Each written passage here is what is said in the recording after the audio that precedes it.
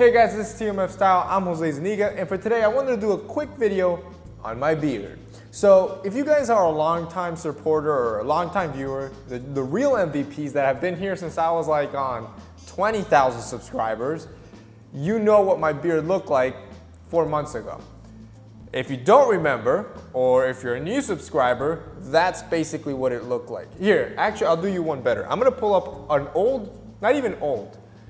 Give me a second.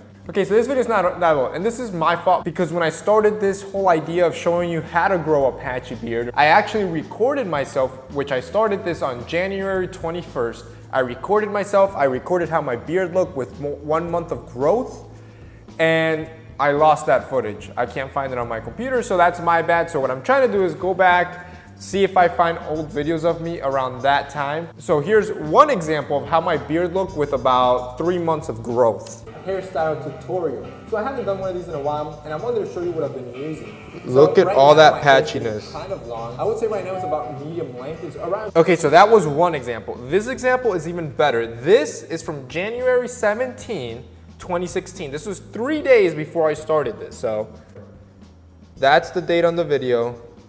That's how I look like. Check this out. Video, we're gonna be discussing what thickness you should buy for your lapel side. And if it's probably gonna be your first suit, or you're very unsure, you don't know what lapel side. Okay, so you pretty much get the idea. I had severe patchiness. I only grew a little bit here. I had this really awkward sideburn that basically got to here and then I had nothing here and I had some scruff on this side. That was it. And as you see today, about four months later, I have a whole lot more beard. I still have some patch areas or areas, I guess you can say. I still have some patch, this has always been my weaker side. So I still have some patchiness. Uh, my mustache grew in. This side has always been my stronger side. As you can see, it still is my stronger side, but still some patchiness. But the point is that literally in about four months, I grew a full beard. And this was from a tip I got from my cousin, and he started using this thing called minoxidil.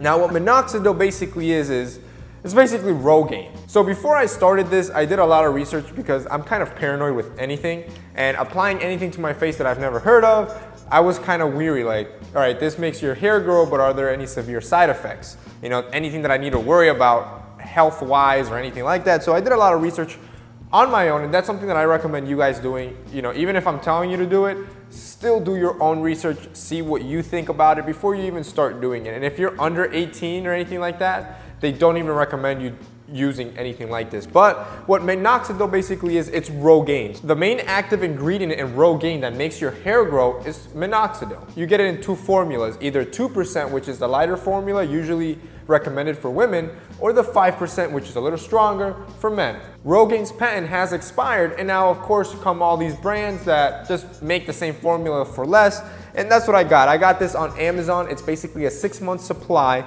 for, I wanna say like $15, $16. So I'll have it linked below so you guys can check it out. A lot cheaper than Rogaine. And all it is, it's like a, it smells like alcohol. It's like a very clear liquid and it comes with a one millimeter dropper and you apply that twice a day. I personally only applied it once a day at the end of the day, right at night before I went to bed. And I applied it every night for about three months. I've been off of it for, I wanna say two, three weeks already. And another interesting thing that I wanna point out is that if, like you saw, I had a lot of patchiness. So the hair didn't grow out evenly within these four months. So something that I did was about every three weeks, I would trim down my hair so it kept growing. And as you can see today, it looks a lot more even. And what I'm actually thinking about doing is trimming it one more time really low, close to the face, and letting it grow out again. But this time with no minoxidil or anything helping me. Like I said, I am off of the product. I was thinking maybe doing one or two more weeks just to try to fill in those light patchiness. Haven't decided that yet.